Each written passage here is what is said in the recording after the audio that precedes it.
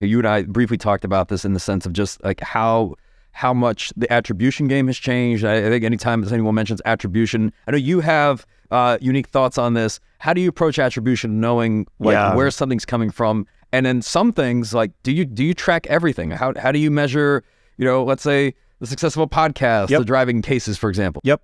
I am right about this, right? You you have to do it this way, and most people don't. So attribution, and, and this has really evolved from my listening to you because you talked about the the the the focus on the brand, right? Focus on the brand. Chris Walker and you have really talked about understanding brand, brand affinity. When people are looking for a car accident lawyer, you want them to think about Smith and Jones, not I'm going to Google to car accident lawyer. That's the whole point of this if you're doing that, the way we have traditionally done brand uh, conversion attribution is to say, okay, I'm going to put together a really sophisticated system that understands when you click on this ad, you go to the website, I see a dynamic call tracking number from CallRail. I make that phone call, it goes into my intake management software. Ideally, that ties into my matter management software, and I tie that all together and I can draw a little pie graph, and it's really good, which only works for those things that are direct response. And it works because when you ask someone, how did you hear about us? They'll say Google or the internet, which is really, really not helpful because on Google, you've got local, organic, LSAs, and PPC to start out with.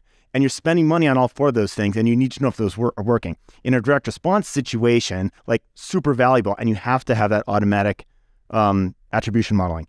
But you also have to have the question, and I don't like, how did you hear about us? I like, hey, Michael, we're really well known in the Atlanta market, and I like to send out a, a thank you gift to people who refer us business. You know, we're it's try to send a, a, a bouquet of flowers to anyone, and that will that open ended question will get you telling me why you learned about. It. Was it the podcast? Was it your you're on my kid's soccer team coach? Whatever whatever it was doesn't matter, and that has to be free form because you don't want a drop down because you want that person to go into why they talk to you, right? So it has to be free form. And now the problem is I've got two conflicting pieces of data. I've got my automagic reporting and I've got my how did you hear about us reporting.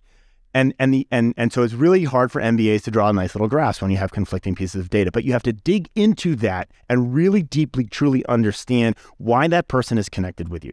Why have they connected with you? That person that looks like it came from pay per click actually called you because you have this great reputation among the, you know, running community, right? And that and that changes everything. And so you have to take that discipline. And it's hard and it takes time and it's probably should not be downsourced to someone who's, you know, the marketing intern at the firm. I think if more people knew, like if they truly knew how every client came into the firm, they would look at their marketing entirely different. So what happens is when you go what when you go through the process of actually rectifying and, and, and validating between these two pieces, these two conflicting sources, why did this person really connect with us? When you go through that process, at the end, you won't have a pie graph, but what you'll have is a deep understanding of, you know what, the podcast works for me.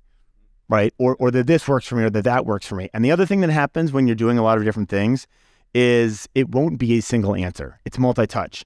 I heard you on the podcast. I saw you speak at the this. You're a member of the Eagles, whatever it is, and you coach and you're on the you you help the Boy Scouts, whatever. It doesn't matter. I've got four reasons that you're connecting with me, and what you start to see, and it's all anecdotal, but you have the synergy of one plus one plus one equals seven. When you're running multiple marketing channels, everything else works better. The success you have in anywhere makes everything else work better, and that's amazing, right?